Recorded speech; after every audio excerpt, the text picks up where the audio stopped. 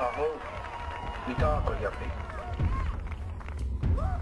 Many generations now, we have suffered. The Washichu we spoke to, but they don't hear. They're deaf. The women, the children, the old ones, they suffer. You from the cities,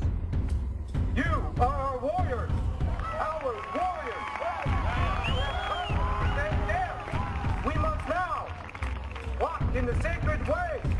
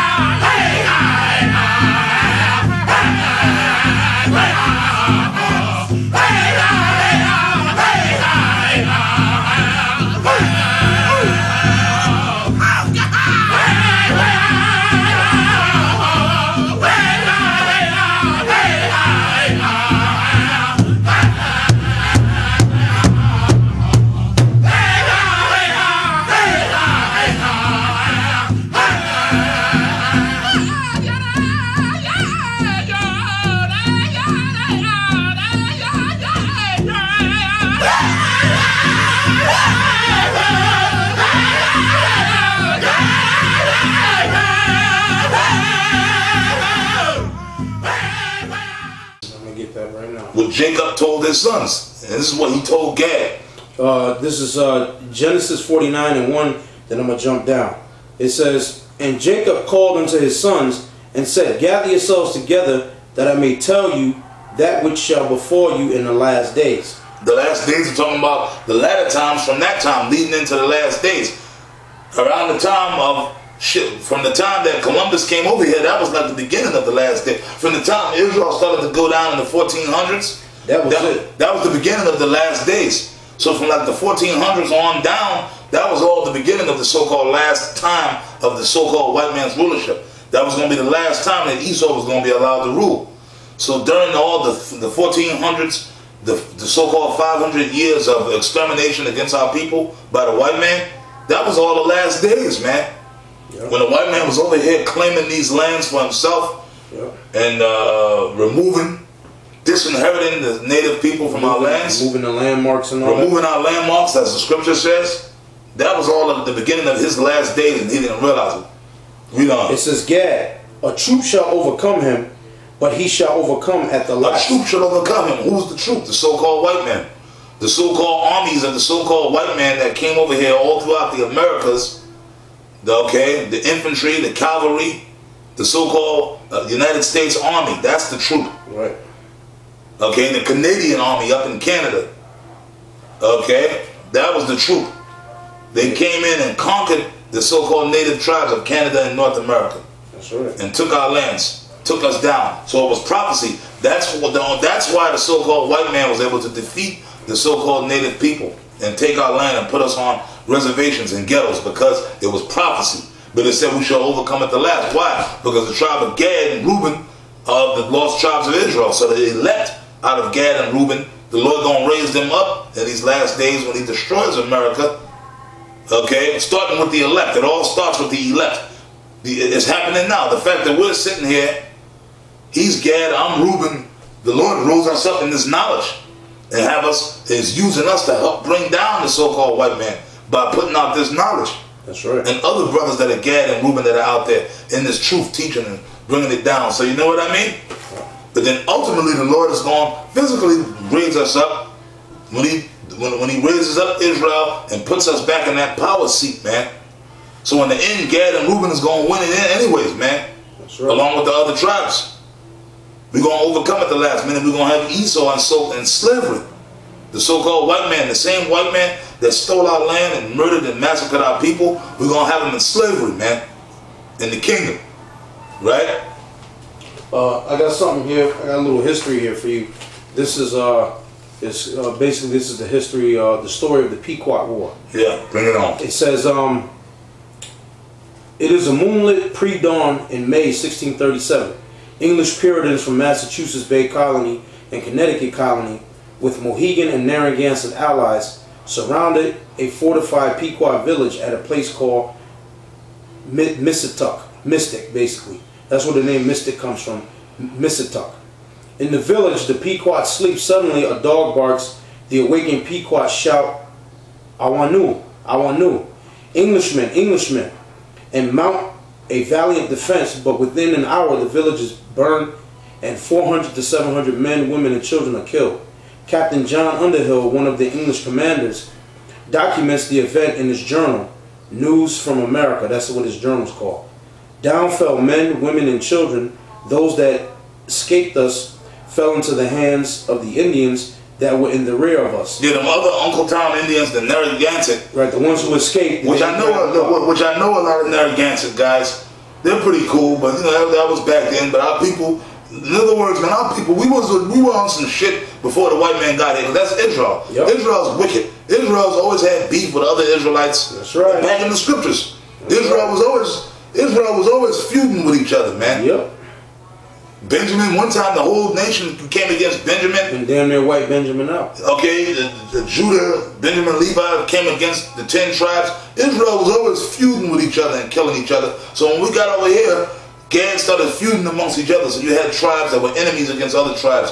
So when, but those other guys that were helping the white man was stupid because the, the white man gonna make a treaty with you to come against another tribe. But as soon as they're done conquering that tribe, they're gonna turn around on your ass. That's what that's that's the that's the valuable lesson that our people found out. These other Indians that said we're gonna help, we'll ally with the white man, but we don't like those Pequots anyway, so we'll help you. Yeah. But then when he's done, he gonna fuck you, man. That's right. He gonna fuck you up the ass. And they show you that in that movie Geronimo with the Apache. That's had right. the Apache scout with the red bandana around his head. And then when they finally, when Geronimo and his men gave up, and they were taking him and they were bringing him somewhere else, they took the Apache scout and threw his ass up in there with him too. They was like, okay, we, we, got what we needed out your ass, and they tossed his ass in there with him. That's an example of it. Um, it says, uh, it says, down fell men, women, and children.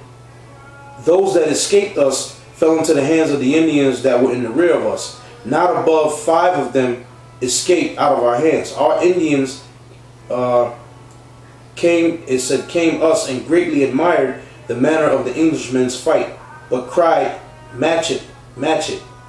That is, it is naught, it is naught, because it is too furious and slays too many men. Great and doleful was the bloody sight to the view of the young soldiers that never had been in a war. To see so many souls lie gasping on the ground, so thick in some places that you could hardly pass along. The massacre at Mystic is over in less than an hour. The battle cuts the heart from the Pequot people and scatters them across what is now southern New England, Long Island, upstate New York. Over the next few months, remaining resistors are either tracked, tracked down, and killed or enslaved. The name Pequot is outlawed by the English. The Puritan justification for, uh, for the action is simply stated by Captain Underhill.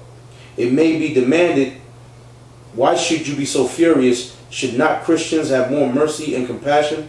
Sometimes the scripture declares women and children must perish with their parents. Sometimes the case alters, but we will not dispute it now. See, have and the Pequot just a few years ago, like back in the 90s, mm-hmm. back in like the mid '90s, they just recently got the federal recognition. That's when they got the uh, Foxwoods. got the Foxwoods. But prior to that, man, the, the, the name Pequot was still outlawed going back to the 1600s. They just recently got their heritage back. Mm-hmm. Certain tribal members came back and reclaimed their lands. Some of their lands up there in uh, uh, by Stonington up there. Yep, Stonington and Mystic. Okay. Yeah. And the name Pequot is just recently being able to even claim to be Pequot. And They got their federal recognition. That's right. Okay.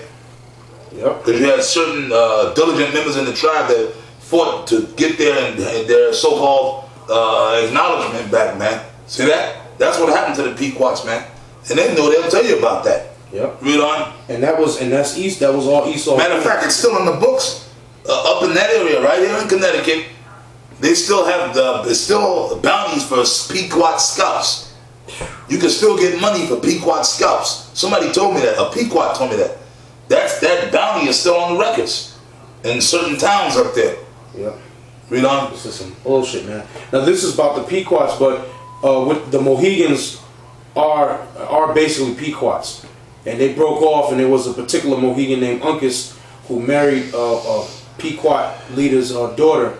Uh, the Pequot leader name was Sassacus, and Uncas married Sassacus's daughter, and they had that union. And then when, when Esau came, uh, Uncas wanted to deal with Esau. He basically he wanted to deal with Esau.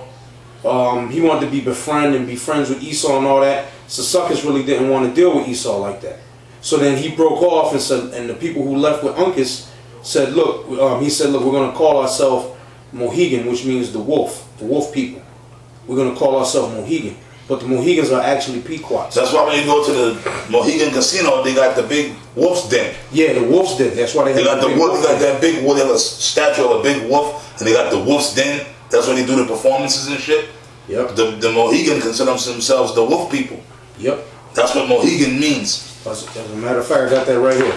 I'll, I'll read this. Uh, it says Mohegan Indian history. Mohegan from Maengan, wolf. It says an Algonquin tribe whose chief seat appears originally to have been on Thames River, Connecticut, in north part of New London County. You were speaking about New London, Mystic, and all that. Well, that's what I'm saying. We're, we're in Bridgeport, Connecticut. You Right. get on the highway 95 and drive north. You gotta go north. You take 95 north. You run right into Stonington, exit 92 around there. Before you hit Rhode Island. Before you drive before you hit Rhode Island, which is territory of the Narragansett, which were enemies traditionally to the Pequot, anyways. the- They helped the white man kill off a whole heap of the Pequot. But just before you hit Rhode Island, around exit 92, you're gonna see signs for the Pequot Reservation, which leads you to Foxwoods Casino, which the casino is on the reservation, right? It says they claimed as their proper country all the territory watered by the Thames and its branches north to within 8 to 10 miles of the Massachusetts line, and by conquest a considerable area extending north and east into Massachusetts and Rhode Island, occupied by the Wabaquasset and Nimpuk. Nipmuc. It says on the west their dominion extended along the coast to the East River near Guilford, Connecticut which Guilford Guilford is on the way going to Mystic. Guilford is like exits 55, 56, 57, 58, and 59 is Guilford. Exit 60, 61 is Madison, Connecticut. When you get out to um, exit 91, 92, that's uh, Mystic in the Stonington area. Just before you cross into Rhode Island, cross the state line. It says, uh, let me see. It says, uh, These so-called white people got a lot to pay Yeah. for. They stole a lot. They man. stole a fucking all, all this land up here in Connecticut. You It's all Gadite land, You got some beautiful turf up here in Connecticut. You got Damn some sure beautiful do. country up here. Damn sure and these do. crackers be up here enjoying it, man. They live. They live in the nicest areas of Connecticut. And then when you come to Bridgeport, which Bridgeport is considered the hole in the wall ghetto, Right. that's where they got all the Negroes and Hispanics stuck in this little hole called Bridgeport. Yep. You come right outside of Bridgeport into Fairfield, you got some. That's all Indian land. The Golden Hill, the Paugussett, and them other tribes, Yep. they own all that land. That was their turf. that's right. And they tried to get their little federal thing going on. They got shut down here in Bridgeport. Yeah. Okay? I And the Bridgeport belongs to them. The Golden Hill. Or the Paugussett. Hell, where, where City Hall sits, that's Indian land. They got the paperwork and all that, and basically it got denied in court. They got all the. I remember back in the '90s when it was a big.